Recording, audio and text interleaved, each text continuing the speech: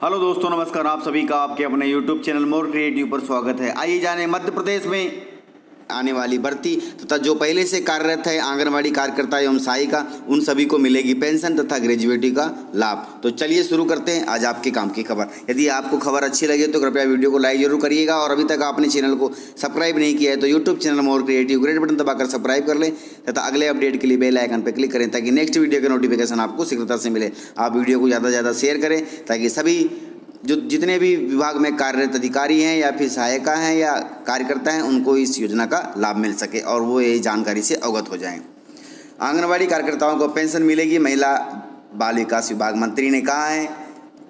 मध्य प्रदेश की महिला एवं बाल विकास मंत्री इमरती देवी ने घोषणा की है कि आंगनबाड़ी कार्यकर्ताओं को भी अन्य सरकारी कर्मचारियों की तरह पेंशन दी जाएगी। उन्होंने कहा कि आंगनबाड़ी कि कार्यकर्ता सबसे ज़्यादा मेहनत करती हैं, आपको पेंशन देने का विचार किया जा रहा है, बल्कि हम तो पूरी कोशिश करेंगे कि इसे लागू ही कर दिया जाए। बहुत अच्छी बात है और सभी को इस योजना का लाभ मिलना चाहिए।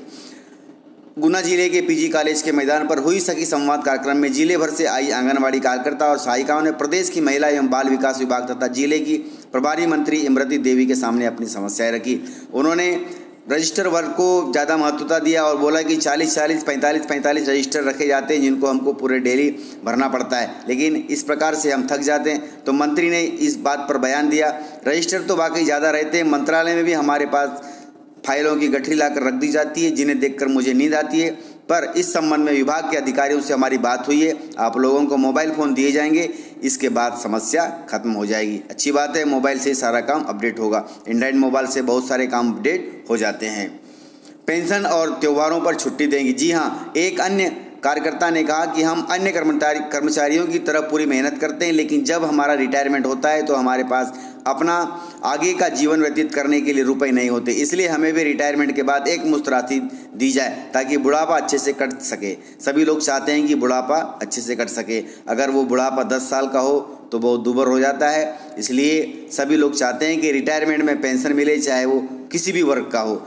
जिस पर इमर, मंत्री इमरती देवी ने कहा कि आपकी इस समस्या पर विचार कर रहे हैं आंगनबाड़ी की कार्यकर्ता सबसे ज़्यादा मेहनत करती है आपको पेंशन देने का विचार किया जा रहा है बल्कि हम तो पूरी कोशिश भी करेंगे कि इसे लागू ही कर दिया जाए। एक कार्यकर्ता ने कहा कि हम हमें त्योहारों की छुट्टी नहीं दी जाती इसके जवाब में मंत्री बोली इस पर भी हमारा प्रयास जारी है।